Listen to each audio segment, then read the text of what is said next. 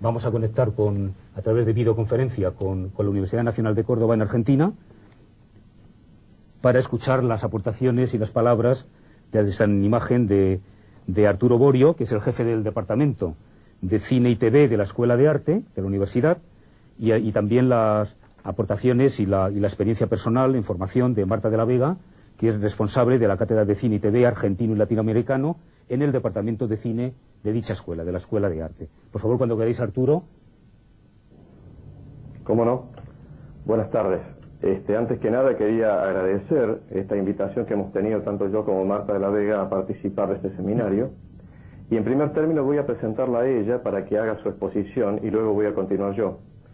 Eh, la profesora de la Vega es licenciada en cinematografía y además de ser titular de una cátedra, eh, es miembro del Consejo Directivo de FEISAL, que es la Federación Iberoamericana de Escuelas de Imagen y Sonido.